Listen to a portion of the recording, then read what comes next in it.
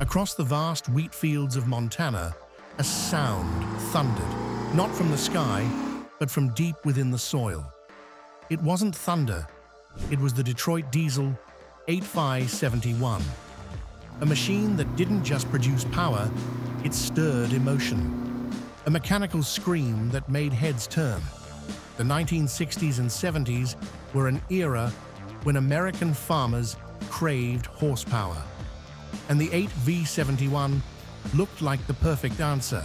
Compact, powerful, and easy to fix. It seemed destined to transform farming forever. But then, the truth began to unfold. Not everyone could tame this beast. And while some turned it into legend, others paid a heavy price. So, what really happened? After World War II, America wasn't just rising, it had become the epicenter of mechanical innovation. Tanks, warships, generators, they all proved one thing. Diesel was the future, and the industry knew it. Detroit Diesel, a division of General Motors, wasn't going to sit back. After building a reputation through wartime engines, they set their sights on something bold, an engine that was stronger, lighter, and more advanced than anything before it. In 1957, the 8V71 was born. The name sounds simple. 8V71 just stands for 8 V-shaped cylinders, each displacing 71 cubic inches. But inside was a daring engineering philosophy, a two-stroke diesel, unlike anything farmers had ever used. Instead of the slow, traditional four-stroke rhythm, the 8V71 fired every time the piston rose, effectively doubling the power strokes. With a gear-driven roots blower, a kind of mechanical supercharger, the 8V71 screamed like a racehorse at full gallop. It was compact and far lighter than bulky engines of the time, yet could push out over 300 horsepower, an impressive figure back then. But Detroit's ambition didn't stop at engineering blueprints. They wanted to take the 8 V-71 somewhere unexpected, into the fields of America. In the early 1970s, American agriculture was transforming.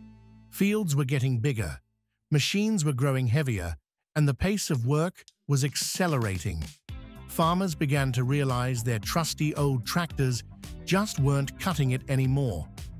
So when they heard about an engine pushing over 300 horsepower, revving up to 2,100 RPM, compact and easy to fix, they couldn't look away. The Detroit Diesel 8V71 wasn't just an engine, it was a promise, a promise of unrelenting power. Unlike the heavy, slow, traditional diesels, the 8V71 felt like a wild horse, screaming, powerful, and full of fire. Its modular design, with individually removable heads, made repairs easier than ever, something farmhands with a wrench deeply appreciated. And parts no more waiting weeks for specialty orders. Detroit diesel engines were common in trucks, and their components could be found in garages along every highway. It's no surprise that brands like Versatile and custom tractor builders in the Great Plains began outfitting their machines with the 8V71. Everything seemed set for a mechanical revolution in farming until the 8V71 was put to work in the real world. And that's when it happened. When the 8V71 powered tractors began hitting the dirt, people realized this engine didn't behave like anything farmers had seen before. Because the 8V71 wasn't slow and steady. It was a two-stroke diesel, a totally different breed from traditional four-stroke farm engines. In a two-stroke, every upward piston stroke meant combustion, double the power, higher RPM, and a scream like no other. But in return, it demanded constant airflow and fuel. Any interruption was dangerous. And the biggest problem? It couldn't handle being lugged at low RPM under heavy load, something farm tractors do all the time. At low speeds, exhaust gases wouldn't clear, heat would build, pistons would burn, heads would crack. Some said it didn't break, it melted. Farmers weren't used to this. They'd throttle down, crawl through mud, and let the engine grunt. But try that with an 8V71, and disaster came fast. One day, it's screaming along happily. Next day, smoke, leaks, no compression. On spec sheets, the 8V71 was a marvel. Powerful, compact, easy to service. But those very features, so ideal on paper, became double-edged swords out in the realities of farm life. First, the Roots Blower, a gear-driven supercharger that continuously pumps air into the engine. In a two-stroke, this isn't optional, it's essential. Without forced airflow, exhaust gases can't be fully scavenged from the cylinder, leading to choking and extreme heat buildup. Next is the narrow RPM range. The engine only operated properly between 1800 and 2100 RPM. Stray outside that window, even slightly, and the cooling system struggles, exhaust lingers, and failures begin. The unit injector system is another brilliant yet picky feature. Each cylinder had its own injector, driven directly by the camshaft. Durable and mechanical, it didn't need electronics. But if it fell out of sync, tuning was no small task. Lastly, the wet liner design, each cylinder sleeve was water-cooled and individually replaceable, ideal for rebuilds if maintained correctly. But if coolant gets contaminated or pressure is lost, damage happens quickly and badly. And unfortunately, when those engineering rules were ignored, the consequences didn't come in years, but in days. Very quickly, the technical quirks farmers had once ignored came back with a vengeance. Lugging, running slow under heavy load, was normal for traditional tractors. But for the 8V71, it was suicide. At low RPM, airflow dropped, exhaust gases stayed trapped, and temperatures soared. Pistons melted, heads cracked, and worse, crankshafts snapped. To many farmers, it felt like betrayal. They believed, if it's American, it must be tough. But the 8V71 wasn't a workhorse, it was a racehorse. And if you didn't handle it right, it would throw you off. Then came the fuel consumption, an eye-opener for many. At high RPM, the engine drank diesel like a long-haul truck not a farm machine. For mid-sized farms during the fuel crisis-ridden 70s, that was a serious burden.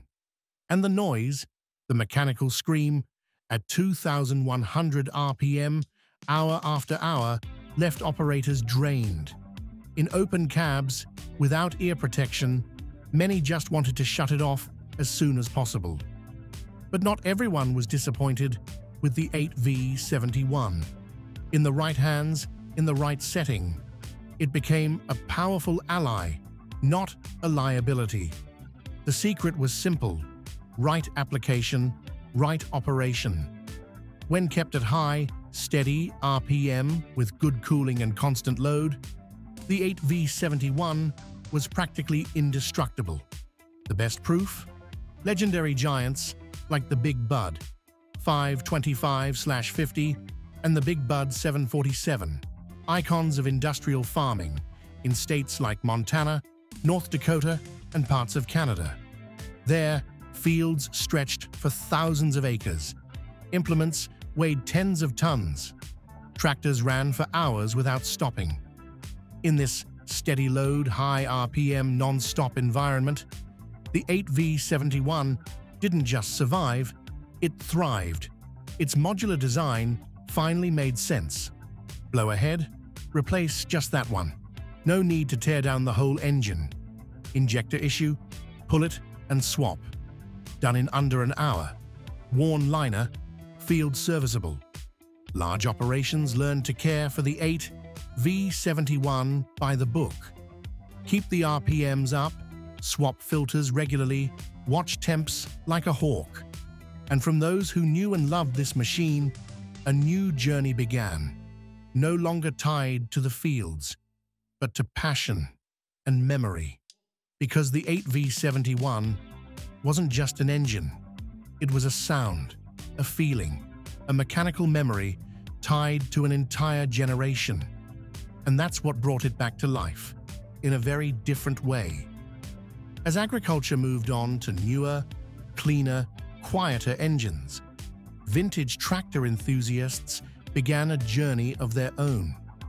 They weren't just restoring old machines, they were reviving the Detroit 8V71 through creative custom builds.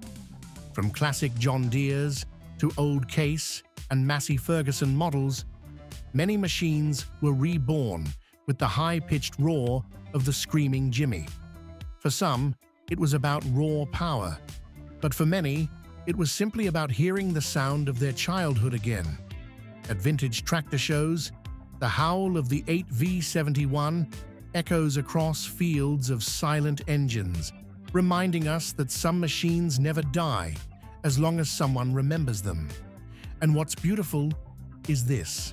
The 8V71 didn't need to win in the marketplace.